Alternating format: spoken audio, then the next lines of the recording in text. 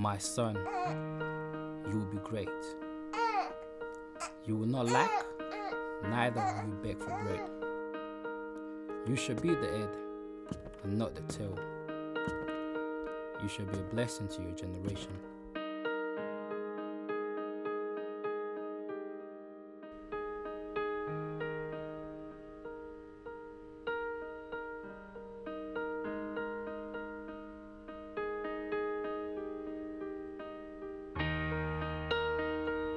Keep trying.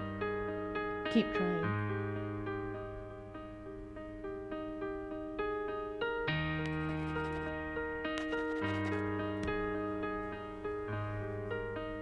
I knew you could do it. This is the little thing that I'm teaching you. In anything you are doing, do it well.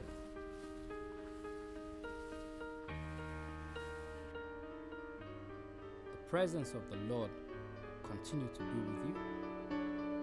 No weapon formed against you.